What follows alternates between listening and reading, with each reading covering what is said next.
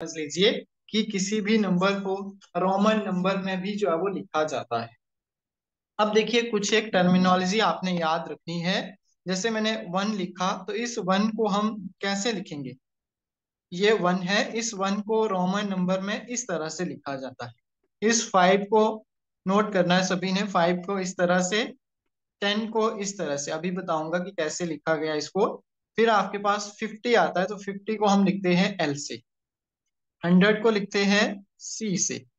और इसी तरह अगर हम फाइव हंड्रेड को लिखें तो नोट कर लीजिए डी से और वन थाउज़ेंड को हम एम से जो है वो लिखते हैं। वन थाउज़ेंड को किससे? कैपिटल एम से जो है वो लिखा जाता है। यहाँ तक क्लियर है सारी चीज़ें। हिंदू अरबिक में, नीचे वाले ये हिंदू अरबिक में है और ये आपके पास रोमन में यहाँ तक किसी को कोई दिक्कत, सारी चीज़ें क्लियर है। बोलो जल्दी से। यस सर अब देखिए मान लो हमने वन लिखा तो वन को सिंपल हम इस तरह से लिखते हैं जैसे ये वन लिख दिया। अब देखिए इस रोमन नंबर में जब हमने टू लिखना है जब हमने क्या करना है टू लिखना है तो हमने क्या किया इस वन में एक और वन ऐड कर दिया तो आपका टू बन गया। इसी तरह से थ्री लिखना है तो थ्री आपका ऐसे लिखा जाता है मतलब one plus one plus one. अब देखिए फाइव को लिखा जाता है इस तरह से। ये आ गया आपके पास फाइव तो फाइव से आपने ये पीछे की तरफ़ जब आपने वन लगा दिया मतलब आपने क्या किया? फाइव से वन माइनस कर दिया। तो आपका हो गया फोर यहाँ तक समझ आया? वन टू थ्री फोर और फाइव कैसे लिखे गए? यस सर अब इसमें क्या किया? एक ऐड कर दिया। फाइव में एक ऐड कर दिया मतलब दूसरी तरफ़ लगाएँगे तो एक ऐड कर दिया तो हमारा सिक्स हो गया। फाइव में टू ऐड कर दिए तो सेवन हो गया। फाइव में थ्री ऐड कर दिए तो हमारा एट आ गया। अब देखिए नाइन लिखना है तो टेन को मैंने बोला इस तरह से लिखा जाता है। तो टेन को इस तरह से लिखा जाता है तो एक माइनस कर दीजिए और नाइन इस तरह से लिखा जाएगा। चेंजेस कहाँ पे हुए? आपके चेंजेस हुए फोर और फाइव में। एट और नाइन में। यहाँ तक चीज़ें समझ आई सभी को कि कैसे बनते हैं ये?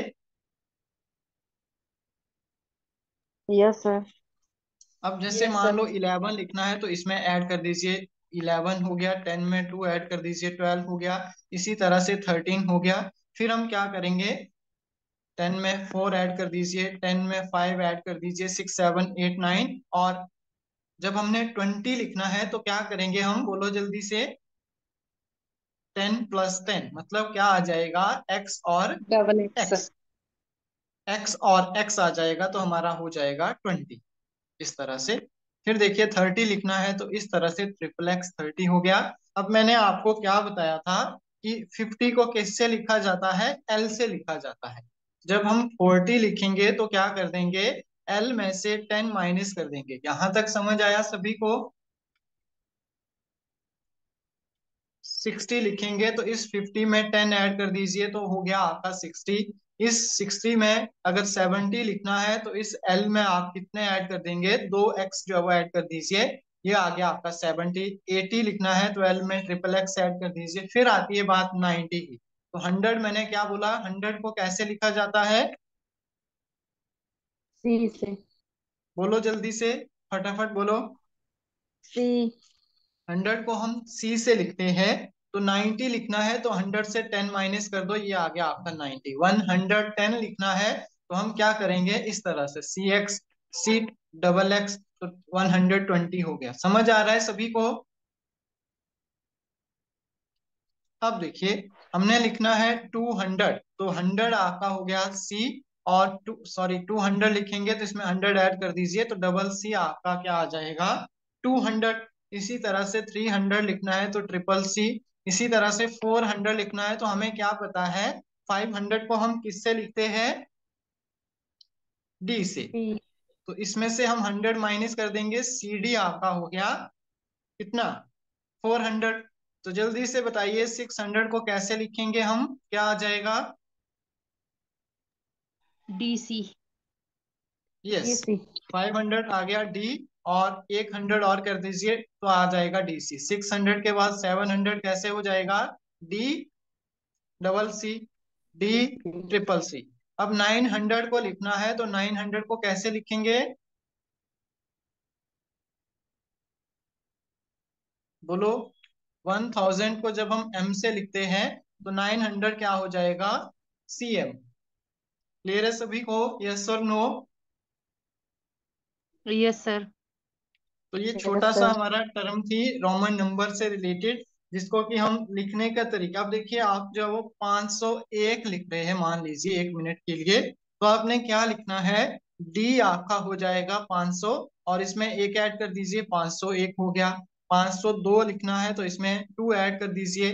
तो इस तरह से आप कुछ भी जो है वो लिख सकते हैं बट कब लिखेंगे? प्रैक्टिस करेंगे तब। जैसे 51 लिखना है आपने मान लो तो 51 कैसे लिखेंगे? 50 को हम किससे लिखते हैं? एल और एक ये हो गया एल आई आपका 51 हो गया। समझ आया सभी को? Yes or no yes sir sir 101 लिखना है मान लो। तो 101 101 को कैसे लिखेंगे? जल्दी से लिखो। सी आई सी और आई इसी तरह से 130 लिखना है। तो सी एक्स एक्स और एक्स समझ आया? Yes or no yes sir बहुत सिंपल है, जब आप प्रैक्टिस करेंगे तो और चीज़ें जो है वो अच्छे से आपकी जो है वो क्लियर हो जाएगी। तो इन चीज़ों को आपने अच्छे से जो है वो रिवाइज करना है और क्वेश्चन जो है वो इनके ऊपर सॉल्व करने हैं। और रही बात कल के सेशन की तो कल जो चीज़ें हम पढ़ेंगे which is the most important things कल हम सीखेंगे कि यूनिट डिजिट जो है वो कैसे निकालते हैं इकाई का अंक यहाँ से एक क्वेश्चन जो है वो बहुत इंपॉर्टेंट पूछा जाता है और सेकंड चीज़ पढ़ेंगे most most and most important which is divisibility rule याद रखना है सभी ने डिविजिबिलिटी रूल हम जो है वो कल पढ़ने वाले हैं। तो कल हम एक से लेकर दस तक किन नंबरों से, किस तरह से डिविजिबिलिटी को चेक करना है, एक हम इसको पढ़ेंगे, एक पढ़ेंगे हम यूनिट डिजिट जो है वो कैसे निकालते हैं। और तीसरा जो हमारे पास चीज़ आती है which is related to additive inverse और मल्टीप्लीकेटिव इनवर्स योज्य प्रतिलोम जो है वो और उसके बारे में जो है वो हम कल की क्लास में जो है वो डिस्कस करेंगे। लेकिन उससे पहले आज जो पढ़ा है, उनके आप कॉन्सेप्ट के ट्रिकी नोट्स जो है वो बनाएँगे और साथ में प्रैक्टिस क्वेश्चन जो है वो देखने हैं। प्रीवियस ईयर जो भी आप जिस भी एग्ज़ाम की तैयारी कर रहे हैं, उनसे रिलेटेड नंबर सिस्टम से जितने भी क्वेश्चन पूछे गए हैं उनको जो है वो सॉल्व करना है सभी ने बैठ के ठीक है? क्लियर है इतना?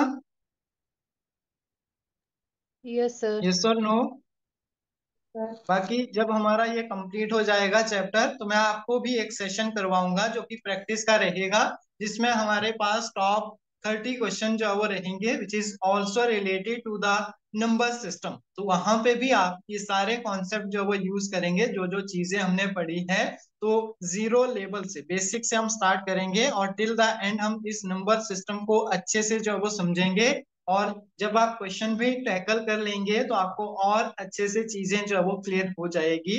तो आई होप आप सभी कल जो है वो जितना हमने पीछे किया है तो उन सभी चीज़ों को अच्छे से समझेंगे और प्लेस वैल्यू और फेस वैल्यू ज़्यादातर क्वेश्चन वहाँ से और बेसिक जो टर्मिनोलॉजी है इंटीजर हो गया, या फिर आपको सोचना ना पड़े कभी कि परिमेय संख्या क्या होती है और परिमेय संख्याएँ क्या होती है, या फिर आपके पास जो प्राइम नंबर है, उनको कैसे डिफाइन करना है कंपोजिट नंबर कई बार क्वेश्चन पूछ लेता है स्मॉलेस्ट कंपोजिट नंबर तो वहाँ पे गलती से बच्चे गलत आंसर लगा देते हैं, एक। तो आपने वो गलती नहीं करनी है कि स्मॉलेस्ट कंपोजिट नंबर कौन सा है हमारा? बोलो। फोर यस तो वहाँ पे आपने ये गलती नहीं करनी है छोटी छोटी इसके अलावा प्राइम नंबर से बहुत क्वेश्चन आते हैं। तो बेसिक लेवल पे अगर आप प्राइम नंबर अच्छे से पढ़ जाते हैं तो वहाँ से भी क्वेश्चन फंसता है। तो उसको भी आपने अच्छे से रिवाइज करना है।